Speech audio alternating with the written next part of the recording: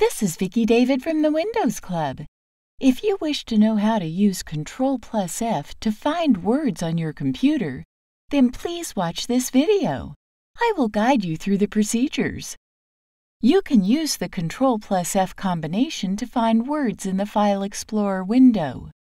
The File Explorer window has a default search bar.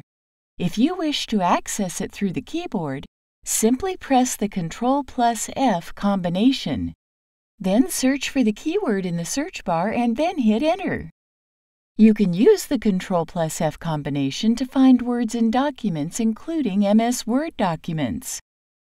Simply press the Control plus F combination and a new search window will open.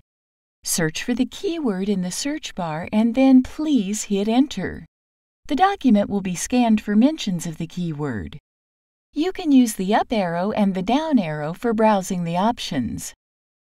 You can use the Control plus F combination to find words web browsers.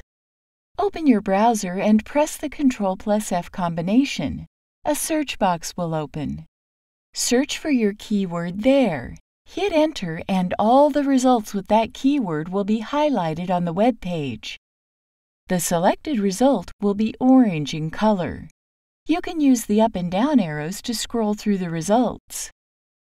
You can use the Control plus F combination to find words in applications like PowerPoint, Excel, etc.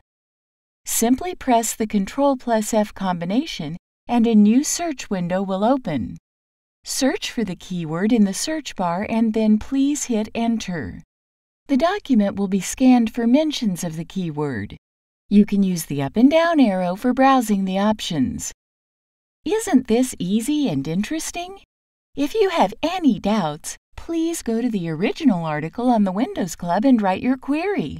We will surely answer it. Feel free to subscribe to the channel. Thank you for watching this video. Have a nice day.